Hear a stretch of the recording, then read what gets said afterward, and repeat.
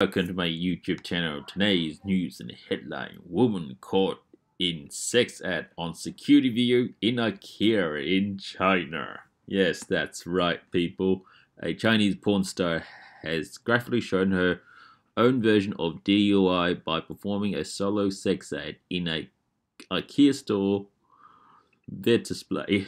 The security um, has been stepped up and the furniture chain has apologized after a disturbing x-ray video 60 minutes long went viral this sun reports chinese officials were also left fuming by the incident which took place on a busy shop floor while pensioners and young children walked by according to the reports in from in china.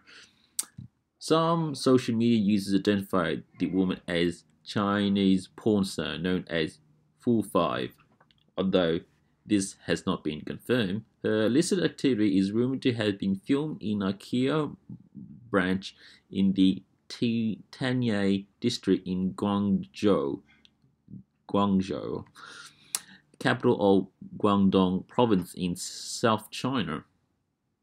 It's not clear when exactly the footage was filmed and other shoppers do not appear to be wearing face masks.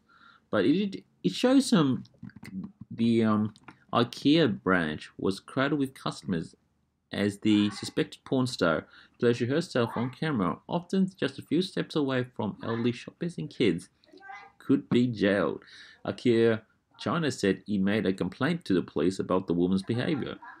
Chinese government news organization, the Global Times, have also condemned the widespread release of pornography across social media when footage went viral before being censored.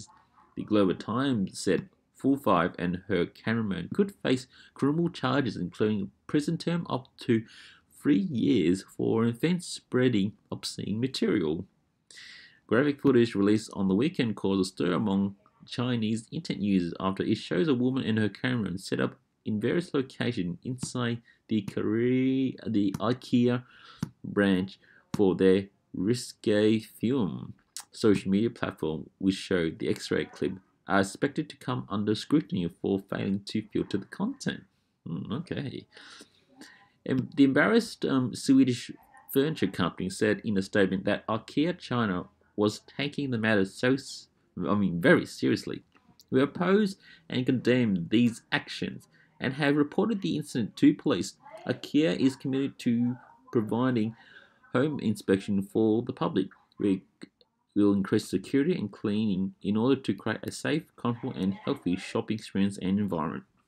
So, what do you reckon, folks, about this Chinese porn star doing a sex scene in the IKEA store? Let your comments know in the comments section. Anyway, have a good day.